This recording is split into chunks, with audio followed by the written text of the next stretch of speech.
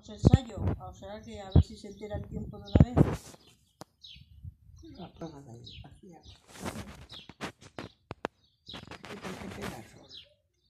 No está resguardado.